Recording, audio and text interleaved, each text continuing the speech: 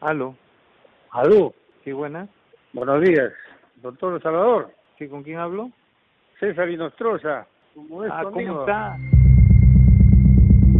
No es solo una conversación con la voz más reactiva del escándalo de los audios del Consejo Nacional de la Magistratura.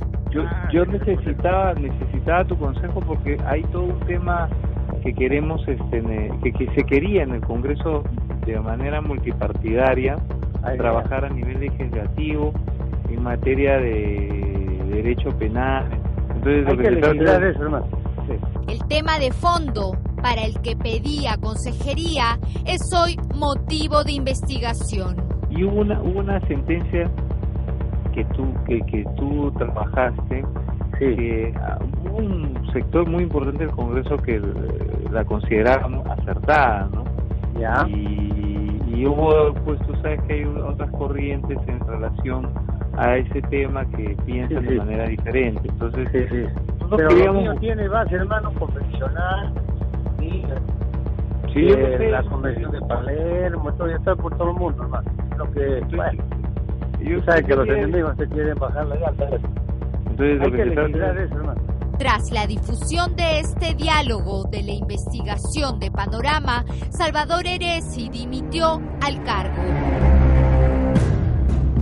Se fue en medio de una anunciada reforma que iba a investigar a su amigo y ocasional consejero. A pesar de que el audio difundido no contiene ninguna connotación de ilegalidad o falta contra la moral y la ética, en aras de facilitar que el señor presidente pueda continuar con la reforma planteada, he presentado mi renuncia irrevocable al Ministerio de Justicia. Mis deseos de éxito, Martín Vizcarra. César Inostroza Pariachi es el nombre del juez supremo que también amenazó la lucha contra el lavado de activos y el narcotráfico en el Perú y que, pese a sus polémicos fallos, fue invocado por Eresi para ser un referente en el mismísimo Congreso. no es solo un tema de amistad, es el tema por el cual se interesa y lo que parece querer impulsar, pareciera ser que quiere impulsar una casación para convertirla en legislación que hace imposible la investigación, juzgamiento de los casos de lavado en el Perú. Sí, todos los que están siendo investigados en este momento por lavado de activos. En mis decisiones durante más de tres décadas siempre he sido respetuoso de la ley y la constitución y los derechos humanos. El todopoderoso Inostroza Pariachi, con un pie afuera del Poder Judicial, archivó la denuncia por lavado de activos de Joaquín Ramírez de Fuerza Popular. Juez supremo, que coincidentemente en otro explosivo y exclusivo audio de Panorama, coordina una reunión con una misteriosa señora K. Mensajes en clave en un contexto clave. Me llamó la señora ¿Cuál señora? Así en forma genérica. ¿Señora qué? K. La de, la del caramba. De, de la fuerza número uno. Bueno, señores, muchísimas gracias por la atención que me han prestado. Muchas gracias.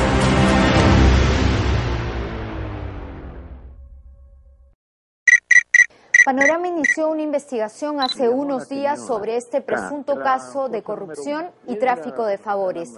Sin embargo, decidimos enfocarnos en los audios que tenían mayor implicancia sobre los políticos más poderosos que deciden en el país. El eje de esta vergonzosa historia fue desde un inicio el juez supremo César Inostroza Pariachi, un controversial personaje cuya carrera en el sistema de justicia está marcada por un largo historial de denuncias en su contra, del que hoy muchos dicen no sabían nada. Yo pude haber renunciado al sistema y abierto mi bufete y ahorita sería un abogado no solamente prestigioso, sino millonario. Pero renuncié a todo ello porque te nace el deseo de servir a tu país. Todo comenzó en el Callao, la plaza perfecta para desenvolverse en asuntos turbios y a su vez practicar en impunidad. Una fórmula que Inostroza habría comprobado más de una vez. Corrían los años 2001 cuando Inostroza Pariachi, alejado momentáneamente de la corte del Callao, se convirtió en abogado del temido narcotraficante Yang Wang, un defendido que tuvo un valor agregado más para él. Aseguran que era su sobrino. Años después, en el 2008, cuando el abogado Inostroza volvió a ser repuesto como juez de la Corte Superior del Callao, o coincidencia, el proceso contra Yang Wang llegó a su propia sala, pero lejos de inhibirse, ratificó el habeas corpus a favor de su sobrino narcotraficante, que terminó huyendo del país. Soy un juez sometido a la Constitución y la ley. Soy un juez que protege los derechos fundamentales de los ciudadanos, de los más de 30 millones de peruanos. En adelante, el juez Inostroza sería el emblema de los fallos que van contra los ciudadanos y a favor de las organizaciones criminales. El más grave y nocivo ejemplo contra el Estado fue la casación 92-2017, que archivó una delicada investigación contra el lavado. ¿Qué nuevo perverso criterio introdujo la sala del juez Inostroza? Para yo poder probar un delito de lavado de activos, tendría que probar que estos activos que yo los introduzco en el sistema financiero provienen de un concreto delito previo, corrupción, peculado de fecha tal, en la que intervinieron tales sujetos y tales sujetos. Eso es imposible. Es decir, para declarar un delito de lavado de activos, Inostroza Pariachi exigía un nivel de precisiones y exactitudes materialmente imposibles de obtener. El audio de panorama puesto en contexto entonces no solo revela una inofensiva amistad, destapa un presunto interés en que desde el Congreso se baje la guardia contra las investigaciones por lavado. Entonces, Hay que, legislar eso, hermano. Sí. Erezzi habría querido reivindicar como una ley un fallo de Inostroza que debilitaba la lucha contra el lavado de activos. Yo, yo necesitaba, necesitaba tu consejo porque hay todo un tema que queremos, este, que, que se quería en el Congreso de manera multipartidaria, trabajar a nivel legislativo en materia de derecho penal y hubo una, hubo una sentencia que tú que, que tú trabajaste que hubo un sector muy importante del Congreso que la consideraba acertada ¿no? ¿Ya? Y, hubo pues tú sabes que hay otras corrientes en relación a ese tema que piensan de manera diferente entonces entonces hay que, que eso hermano no es solo amistad sino por el tema por el cual se estaba interesando. Es muy sospechoso ese interés en una casación que era a todas luces nefasta para la investigación y seguimiento y juzgamiento y sanción de los casos de lavado de activos. ¿A quiénes beneficiaba? La fiscal que conocía la investigación por lavado de activos de Joaquín Ramírez archivó expresamente invocando esta casación y a muchos casos de lavado de activos. Keiko Fujimori podría también favorecerse por estos casos y todos los que están siendo investigados en este momento por lavado de activos. No Pero tiene base, hermano, convencional, sí, sí eh, la convención de Palermo, todo ya está por todo el mundo, hermano. Lo que, bueno, yo sabe que los enemigos se quieren bajar la llanta. Sí, sí, pues ah, lamentablemente ah. y... y así quedó al descubierto una posible alianza para legislar con el Supremo, con quien es precisamente el eje de los audios de la corrupción. Hoy, si toleramos esto, el país está notificado. Los señores ministros están notificados.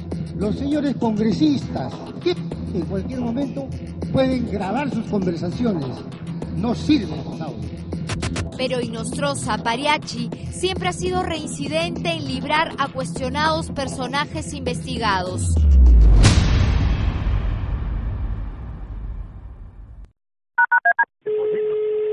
Aló, doctor. ¿Qué tal, hermanito? ¿Cómo va la cosa? me llamó la señora. Ya. Y quiere mañana a la una juntarse unos minutitos con usted en mi casa. Otro audio exclusivo de la investigación de Panorama reveló que el juez Sinostroza sería contactado a través de amigos con los investigados. ¿Cuál señora, Así en forma genérica. ¿Señora qué? K. Para evitar suspicacias sobre el audio de Panorama, en el que se habla de la señora K o de la fuerza número uno, dejo claro que desconozco tal coordinación y que no existió reunión. Yo creo que la alusión que hacen de la señora K ciertamente es una alusión a la señora Keiko Fujimori y a Fuerza Popular. Si la señora K es Keiko Fujimori, ¿cuál es el contexto de esta conversación? La razón sería porque la sala del juez César Inostroza Pagliacci es la que estaba viendo el tema de lavado de activos en el caso que se le sigue eh, Keiko Fujimori y Mark Vito, su esposo.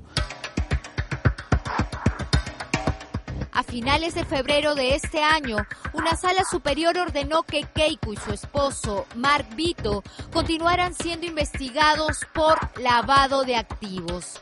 Obviamente, ellos apelaron días después. La apelación debía llegar a la Corte Suprema de Justicia, el terreno de Inostroza Pariachi. Me llamó la señora. Ya.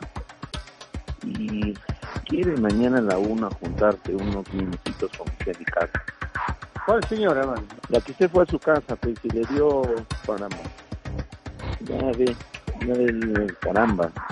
Este, la fuerza número uno. La conversación de la misteriosa señora K ocurre el 4 de mayo del año en curso, buscando una reunión con el juez supremo. ¿A qué hora sería mañana? A la una. Mañana a la una, ya. Eh, bueno, tendré que entonces suspender una reunión. A mí me gustaría que sea a las 11, pregúntale si puede. A las 11. De la mañana, sí porque a la una tengo un almuerzo ya programado. Ya pues, ¿sabe de quién le digo, no? Sí, ya sé quién es, ya sé, sí, ya sé. Ajá. Sí, sí, ya pues. Coincidentemente, dos semanas después la apelación entró a la Corte Suprema, precisamente a la sala de César Inostroza Pariachi, donde, de manera inusitada, apenas pocos días después fue admitida a trámite.